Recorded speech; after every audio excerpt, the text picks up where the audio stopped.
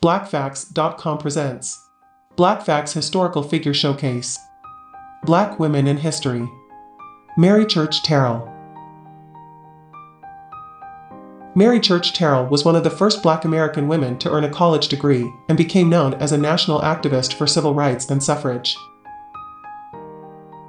She was born in 1863 in Memphis, Tennessee, to Robert Reed Church and Louisa Ayres, both freed slaves of mixed racial ancestry.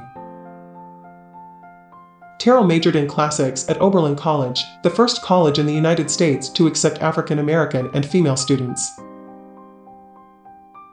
She began her career in education in 1885, teaching modern languages.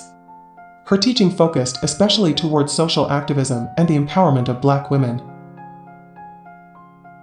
In 1892, Terrell, along with some others prominent women, formed the Colored Women's League in Washington, D.C. They wanted to promote the interests of the African American community. Terrell's autobiography, A Colored Woman in a White World, accounts her personal experiences with racism.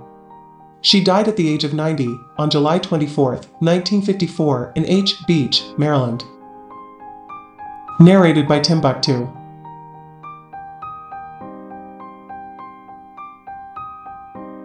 To learn more about Black history, visit www.blackfacts.com.